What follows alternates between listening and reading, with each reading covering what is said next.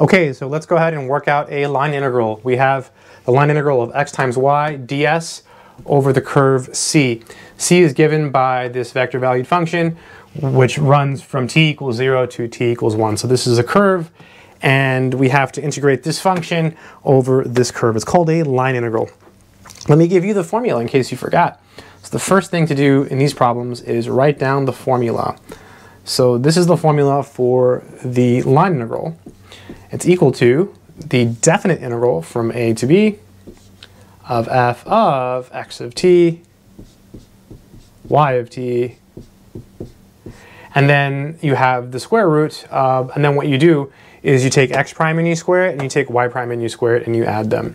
So this formula is extremely useful. Yes, it does come up in you know calculus 3, but it also comes up in other areas of math. So it's something that's really worth at least seeing. It's really good to at least know that exists.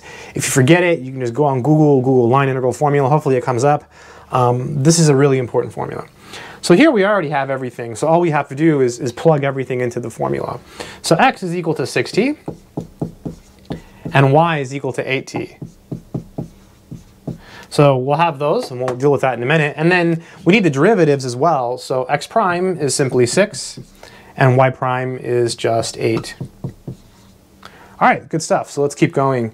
So we're going from 0 to 1. That's your A and your B. So this is 0 and this is 1. Okay? And, oh, this is our f of x, y. Really important. Okay, this is our f of x, y. That's really uh, key. So f of x, y is your, is your x, y. So now we just take these, okay, and we plug them in here. So this is where it gets a little bit weird. So x is 6t. So instead of x, I'm going to write 6t. Okay, so parentheses 6t. Okay, and then y is 8t, so instead of y, I'm going to write 8t. So parentheses 8t. Okay, and then we have the square root. What do we have here? We have um, 6 squared, so 36. Then we have 8 squared, so 64 dt. Really nice. Really, really nice. 6 times 8 is 48. So we have the definite integral from 0 to 1 of 48 t.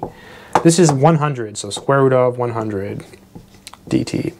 Let's keep going. Um, square root of 100 is 10.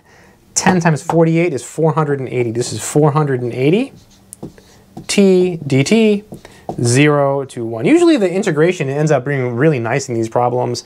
Uh, not always, but usually in these, especially the ones we've been doing, um, they're pretty easy. Once you use the formula and you simplify it's usually pretty easy.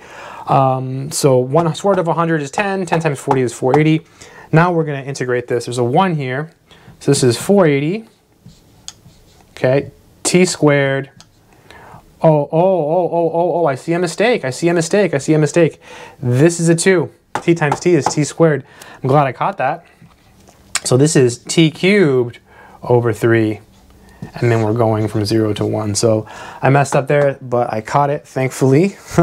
so t times t is t squared. And then here we have a t squared. So when we integrate, it becomes t cubed. This is kind of convenient. 3 goes into 480 160 times. So let's go ahead and, and simplify that.